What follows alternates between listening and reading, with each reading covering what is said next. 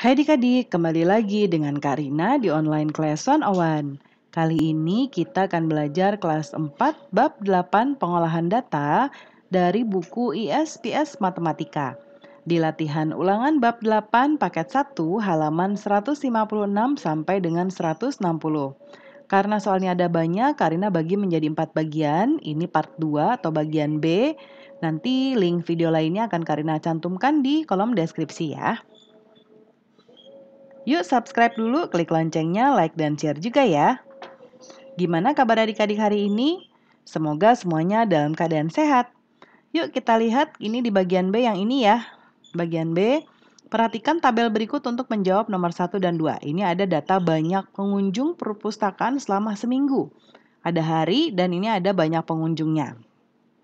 Nomor 1. Selisih banyak pengunjung perpustakaan pada hari Rabu dan Sabtu. Rabu ada 52, Sabtu ada 36. Jadi langsung kita kurangi aja ya.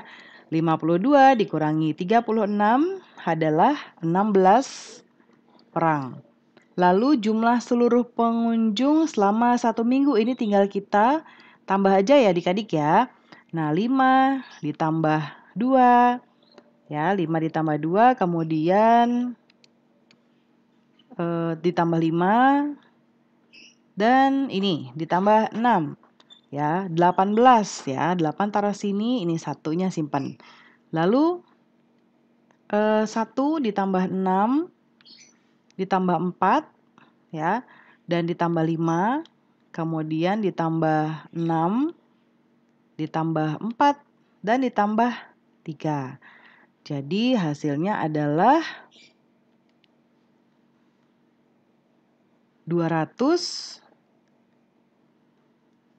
29 ya, 298. 298 orang. Kemudian sekarang kita lihat yang nomor berikutnya. Nomor berikutnya ada diagram batang. Kemudian eh, di sini datanya adalah tinggi badan siswa kelas 4 ya. Nah, kemudian nomor 3, siswa kelas 4 paling banyak mempunyai tinggi badan ini, 132 cm. Ya, ini yang paling banyak siswanya. Siswa kelas 4 yang tinggi badannya paling tinggi ada berapa orang? Ini ya, ada 10 orang. Lalu Oh, paling tinggi. Nah, paling tinggi tuh yang ini ya. Ini Karina coret. Paling tinggi itu yang ini, 135. Ada 6 orang. Jumlah seluruh siswa kelas uh, eh, 4 ya. Kita uh, hitung dulu satu persatu. Ada 4, ini 8, ini 10, ini uh, 5, ini 7, ini 6. Nah, ini kita tambahkan ya. 4 ditambah 8 ditambah 10 ditambah 5 ditambah 7 ditambah 6. Ada totalnya 40 orang. Nah, pembahasan kita sudah selesai ya adik-adik.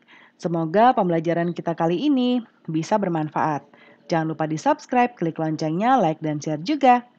Terima kasih sudah menonton sampai akhir. Mohon dimaafkan apabila ada kesalahan dalam perkataan maupun dalam materi yang diberikan. Sampai jumpa di pembelajaran berikutnya.